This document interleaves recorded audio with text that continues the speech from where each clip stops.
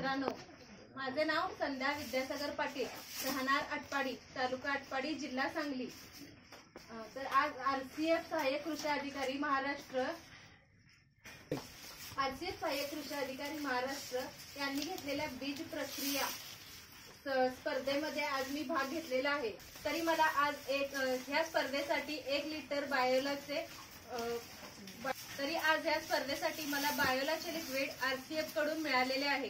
हं. तरी ह्या बायोलाचे लिक्विड एक किलो बियाणांसाठी पंचवीस ग्रॅम वापरायचे आहे. वापरून त्याची प्रक्रिया करून दाखवते. दोन तीन चालू झाल्या. असताना कोणत्याही प्रकारचं त्याला हात बोट वगैरे लावायचं नाही. डायरेक्ट आपण त्या बियाणांवरती हे लिक्विड ओतायचं. त्या बियाणांना हात न लावता आपण हे असं घोळून ते लिक्विड बियाणांमध्ये मिक्स करायचं आहे.